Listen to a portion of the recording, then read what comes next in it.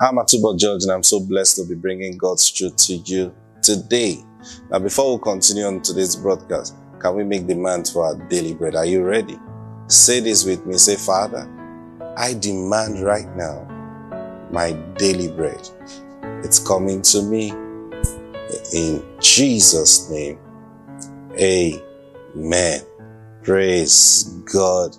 So I was sharing with you yesterday, and this is this is very important.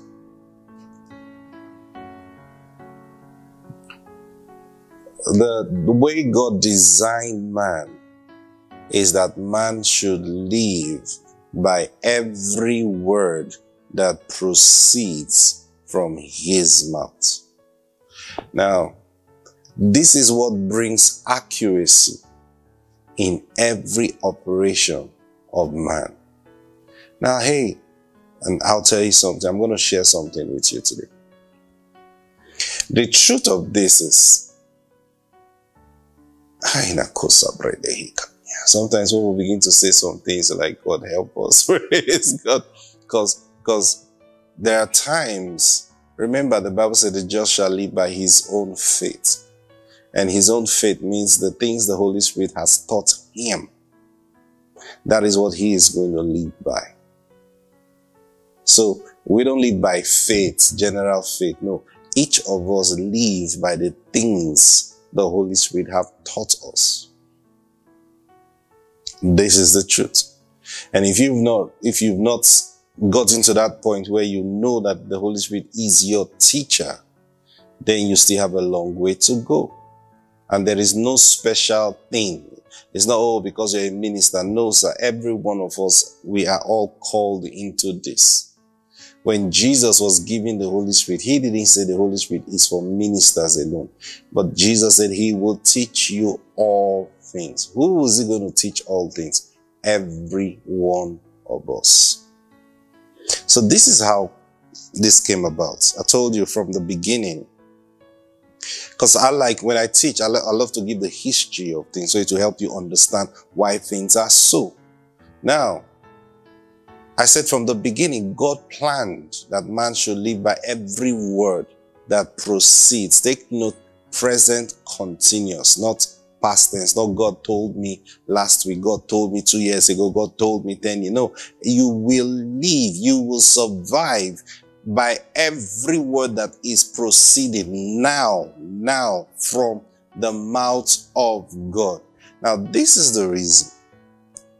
When God made Lucifer, now it's important you know that Adam and Eve or Adam was not the first man that existed on earth.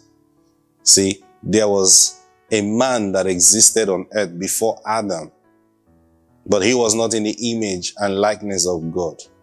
And he was not the focus of God's creation. See that they were mere, they were more like um, servants to the beings that were ruling the earth at that time. And the beings ruling the earth at that time were um, the ones to whom Lucifer was in charge. Lucifer was the head. He was the leader. He was the one God put in charge of the earth. And then he was ruling over men. But these men were not in the image and likeness of God. Okay? So, now, Lucifer in charge. Now, there were cities. There was life then. There were cities. There were animals. Everything existed. The earth was being run. See? So Lucifer was in charge. And this, this was what began to happen. And I, I think I've explained this thing in one, some other broadcast. Lucifer began to take decisions by himself without referring to God or without checking them out with God. Lucifer began to do things his own way. And in doing that, he began to lead the earth away from God. Now, it did, I want you to, I want to, I want you to understand something. It didn't start deliberately like, I'm going to do this. No. It started by, he started by saying to himself, I can handle this. I can handle this. he began to make mistakes. And he began to make mistakes. And he kept trusting in his own wisdom, that his wisdom will bring him out. His wisdom will correct these things. But the more he depended on his own wisdom, the farther he went away from the Lord. He kept going away from the Lord. He kept going away from the Lord. And then the next thing, he began to think that, look, um, no matter how far I've gone, going back to submit to God now, uh, uh, now that's when pride came up from him. You see that? Then instead of going to submit to God, now this same, sometimes, you know, you need to critically look at yourself and, and, and, you know, I, I used to ask people, you know, and say, ah, me, how can, how, you know how some people talk, so how can, imagine what Adam and Eve did. Can you imagine? What if they had just disciplined? How, oh, see, they are the ones that have caused all this trouble. If they had just behaved themselves. So I asked them, you, do you think you're better than Adam? Of course, I can't make that kind of mistake. God have told me not to eat of this tree. So I asked, have you ever eaten your tithes? Mm, and it's not, it's the same thing. it's good. It's the same thing. That was the tithes. You see, that's the principle of the tithes. You can eat all of this, but this one is the same thing. It's normal. Nothing special about it. But God just says, this one, don't eat it. God said, look, you can eat all your money, but this one, it tends. Keep it for me. How many times have you eaten it? And then I say, Adam, they, they were just using. How can, how could they have? Uh-uh. It's the same thing. So Lucifer, the same thing you do today, you are doing some, you made a mistake. Instead of you to go confess and say, look, you know what?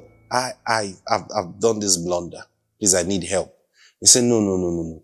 Um, you keep quiet about it and you keep trying to cover up and cover up and cover up. And all this, all this while Lucifer was doing is God was watching and wondering, what's this guy up to? What's this guy up to? I told you yesterday, God will allow you manifest yourself before he will judge you.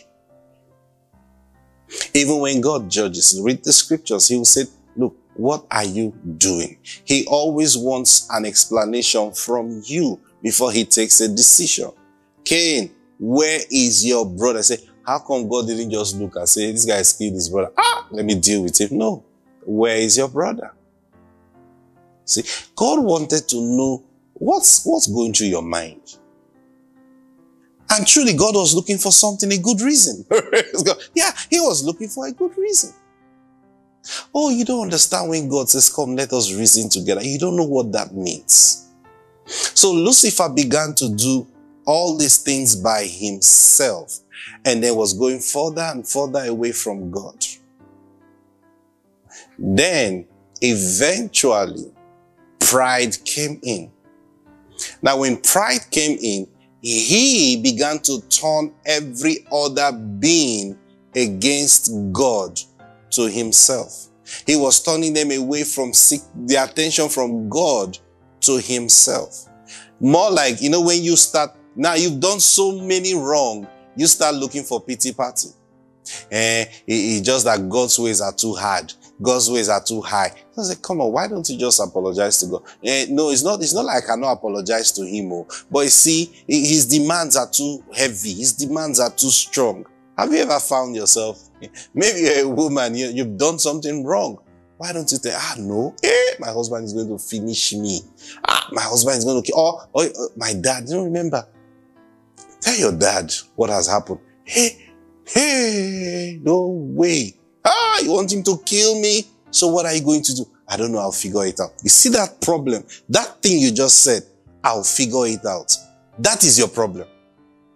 Because you never figured it out. And eventually it blew up on your face. And that's exactly what Lucifer did. Until it blew up on his face. And then he, God had to set a government to judge Lucifer. See that now? He couldn't destroy him. Because Lucifer has eternal life. I've told you that before. All right, now, God had experienced this with Lucifer. So in his dealing with man now that he created, he decided that this is what is going to happen. Man is going to live by every word that is proceeding from my mouth. That means the day man disconnects himself from the word coming out from the mouth of God, it is obvious that moment the line is drawn. You see that now? The line is drawn. So man is not going to go on and go on. No. God is not going to go on bearing with man like, oh, I don't know. The moment you stop receiving words from him, the line is drawn. You see that now? And then from that moment, ah, that's what happened to Adam and Eve. Where are you? We hid ourselves because we're naked. Who told you you're naked? Now, the problem God had with Adam and Eve was not just that they ate the fruit. It was because his word, his word was not their ultimate thing again. They have choose, chosen to listen to the devil. Yes, they have chosen to listen to the devil. So right now, anything God tells them, they want to hear the devil's side so they can compare. Now that's the reason God drove them out of the garden because you see, his plan was them to keep the garden and dress it. How were they going to keep the garden and dress it? They were meant to keep it by the wisdom of God. They were meant to dress it by the word of God. So they are supposed to be receiving words from God on a daily basis concerning the work they were doing. And that is exactly how they will continue to live. Now, when they got to that point where they began to mix their faith with the words of the devil, has God said, now they knew God had said. See that now? They knew what God had said. They understood what God had said. Now Lucifer came and began to, uh, has God said, and then he began to give them another understanding, and they were buying into it. You see, now that was where the problem began. And so God looked at it and said, you can't, you can't rule over this garden like this. So you know what? I'll send you out of the garden. That's why God drove them out of the garden. Now, the moment they were sent out of the garden, what happened to them? They were disconnected from that daily receiving of the word of God. That was when death set in. See that? They began to die from that day. Now, picture this. They have spent all the days they lived before that time only living by the word of God. No other word. See that? Now, now, it, they still lived 900 and something years before physical death could hit them. Everyone, Everyone. Can you receive this? Anyway, hold on with that. I'm going to introduce that. Mm. So today, the design of man is to live only. Now, when I say only, I mean words coming out of the mouth of God. Not saying don't eat physical food. No, man eats physical food, but this is the most important food. This is the most important ingredient for his livelihood. What is that?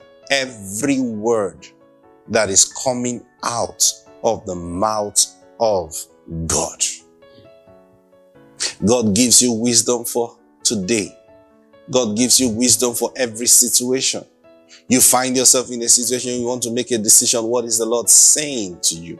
What is the Spirit of God saying to you? Now, sometimes, even as preachers, we have, we have made this mistake of trying to pull people back from receiving words from the mouth of God. So we go, uh, we, uh, sometimes you study the scriptures to know what God is saying. You study the scriptures to know the character of God. But to know what God is saying, you have to listen to Him. Let's not be afraid to tell people the truth. God speaks. He desires to speak to you. see, if this is what is going to give you life, why do you think He will hold it from you? God is always speaking. And this is how man must live. Whether you're born again or you're not born again, this is how you must live by every word that is coming out of the mouth of God. I'll tell you what this does. First and foremost, it differentiates the beings on the earth. You've heard me say this before. It's not everybody on the face of the earth that is a creation of God. Oh yes. Whether you like it or not, whether you, you, you are okay with this message or not, hear me. You will get to find out one day, eventually. Everybody on the face of this earth is not a creation of God. There are those who are not human beings like you. They are they nothing special about them. They look exactly like human, like every other human being. But here's the problem. They are not, they are not the creation of God. So the seed of God is not in them. This is the reason Jesus specifically mentioned and said, my sheep hear my voice. Now, Jesus was speaking one time. John chapter 8, verse 43. Jesus was speaking here. He said, hmm, Why do you not understand my speech? John 8 43. Why do you not understand my speech? Because you are not able to hear my word. You are of your father, the devil, and the desire of your father you want to do. For he is a murderer from the beginning and does not, does not stand in the truth because there is no truth in him. When he speaks a lie, he speaks from his own resources, for he is a liar and the father of it. You see that? Now, Jesus was speaking to some Jewish people. And then he said, Hey, you guys, why don't you understand my speech? He said, Because you cannot hear my words. You cannot hear my word. Why can't they hear his word? He told them plainly, say, because you are of your father, the devil, and his works you will do. So Jesus in his day was addressing these men and he boldly called them children of the devil. You remember John the Baptist said the same thing. You brood of vipers, children of snakes. Now, Jesus even called them Praise God. He said, You are of your father, the devil. Why would Jesus mention this about people? Because that's the truth. So when Jesus said, My sheep hear my voice, that's very instructive. If you are his sheep, how you know yourself is your ability to hear his voice. This is the reason everyone must pay attention to hearing the voice of God. If not, you risk being called the child of the devil. It's as simple as that. I pray the Spirit of God will give you understanding to this. We're going to still go deeper in this tomorrow. God bless you. Bye.